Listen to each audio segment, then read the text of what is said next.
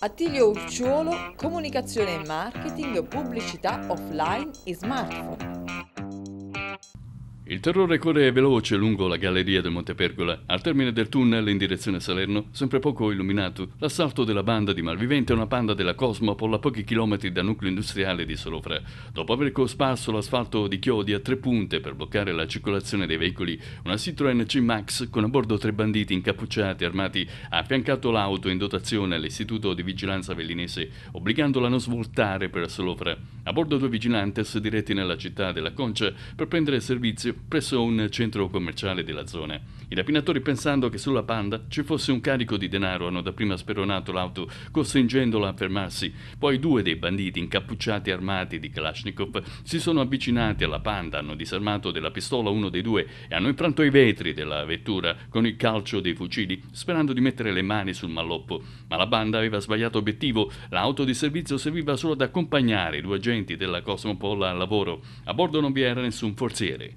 Il blindato, vedendo in difficoltà i colleghi della Panda, ha tamponato l'auto dei malviventi che, vistisi alle strette, hanno aperto il fuoco sparando con i Kalashnikov contro il mezzo della Cosmopol per intimidire i vigilantes. Una raffica di colpi utilizzata dai rapinatori per farsi spazio e coprirsi la fuga. Nonostante l'auto speronata dal blindato della Cosmopol, i tre malviventi sono riusciti a far perdere le loro tracce. Il tratto della superstrada è rimasta chiusa al traffico per ore, numerosi veicoli rimasti inchiodati sull'asfalto. Sul posto gli agenti della postrada, gli uomini della scientifica la squadra mobile che indaga sul caso. La viabilità è stata ripristinata a conclusione dell'intervento degli operai dell'ANAS che hanno avuto un bel da fare per ripulire l'asfalto dai chiodi. Gli agenti di polizia intanto hanno acquisito delle immagini riprese dalla videosorveglianza installata sulla superstrada nel tentativo di identificare i rapinatori. Il 20 febbraio scorso all'altezza di Fisciano si registrò un altro assalto ai mezzi della Cosmopol. Anche in quel caso vennero esplosi colpi di Kalashnikov. I banditi riuscirono a portare via la somma di 100.000 euro. Bande sempre più armate e agguerrite sulla strada dei blindati dell'istituto di vigilanza avellinese.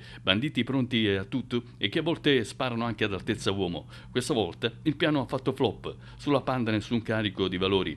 La vita da vigilante ormai è legata anche a rischi e pericoli, ci rivela uno dei componenti della Cosmo. È andata per fortuna, è andata bene, tutto a posto, i colleghi stanno bene, si sono solo rotti un po' di mezzi.